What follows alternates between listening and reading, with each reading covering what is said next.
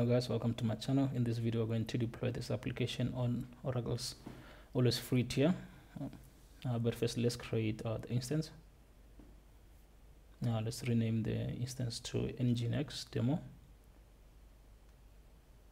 And we're going to use the image um, oracle linux 8 but you can use other images like ubuntu centos and windows server. Also let's download the private key and public keys that we are going to use to SSH into the instance so the instance is provisioning. Let's wait for it to start running. Okay?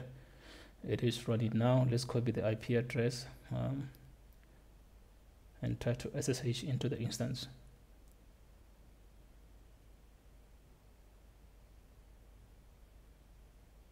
But firstly let's uh, change the permissions on the key. And now let's SSH into the instance all right uh, let's update the system. Now this process is going to take long i'm just going to pause the video then come back once everything's done.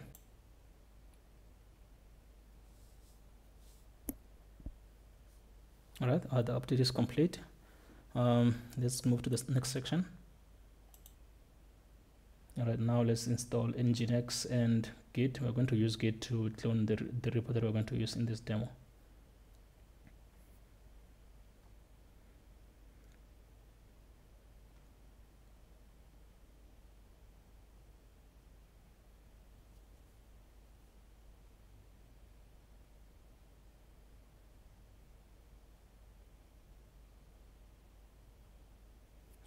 right? Nginx is installed. Okay now let's add http to our firewall and also reload the firewall changes.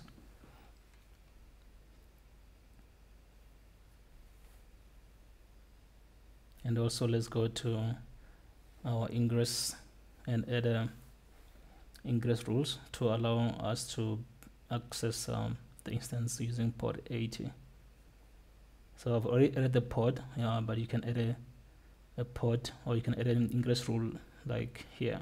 It's pretty simple.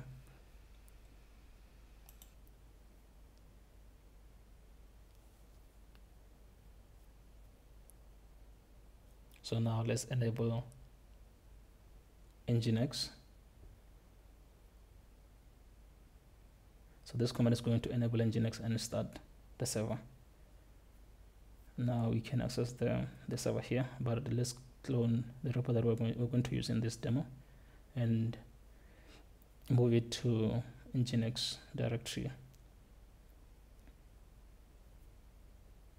So now we're going to move everything from that from that report into our nginx html directory